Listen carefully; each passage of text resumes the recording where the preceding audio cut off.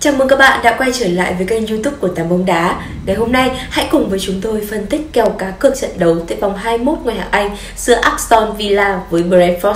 Có thể nói đây sẽ là một trận đấu thú vị khi cả hai đội đang giữ cho mình phong độ chơi khá thất thường.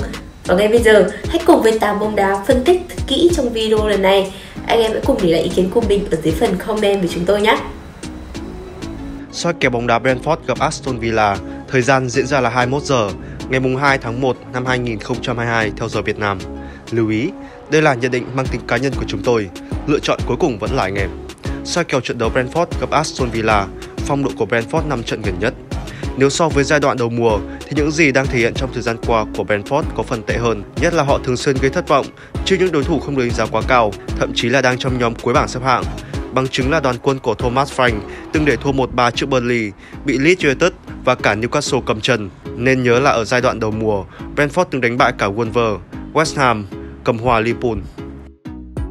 Phong độ của Aston Villa năm trận gần nhất Nhìn chung, phong độ gần đây của Aston Villa là không tệ khi họ chỉ thua trước những ông lớn như Man City, Liverpool và Chelsea. Còn trước những đối thủ không được đánh giá quá cao, họ đều tận dụng rất tốt và giành chọn 3 điểm.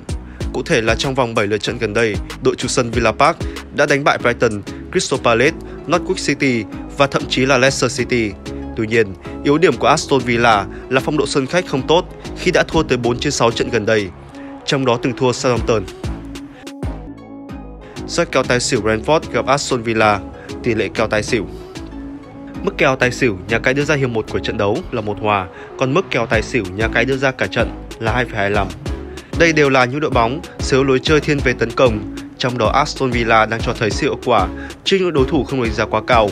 Bằng chứng là họ đều ghi được không dưới hai bàn trước Newcastle, Everton, Brighton, Crystal Palace và Norwich City.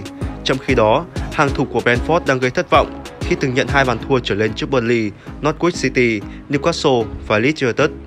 Vì vậy có thể trận này, tài sẽ là lựa chọn tốt nhất để người chơi cân nhắc. So kèo nhà cái châu Á ở trận này nhà cái châu Á đưa ra mức chấp cho cầu cả trận là Aston Villa chấp Brentford không phải làm trái. Có thể thấy thành tích đối đầu của Aston Villa trước những đối thủ ở nửa dưới bảng xếp hạng là rất tốt khi từng đánh bại Brighton, Crystal Palace, Norwich City, Newcastle, thậm chí từng vượt qua những đối thủ mạnh như Everton, Manchester United hay gần nhất là Leicester City. Vì vậy, trước một Brentford đang chật vật ở nửa sau bảng xếp hạng, niềm tin vào một thắng lợi dành cho đội chủ sân Villa Park là rất có khả thi. Đây là những tư vấn của chúng tôi về kèo đấu dành cho anh em. Chúc anh em sẽ đưa ra được những lựa chọn mạng chiến thắng. Hãy để lại ý kiến dưới comment và cùng bàn luận với chúng tôi nhé. Dự đoán tỷ số trận đấu, Brentford thua 2-3 Aston Villa.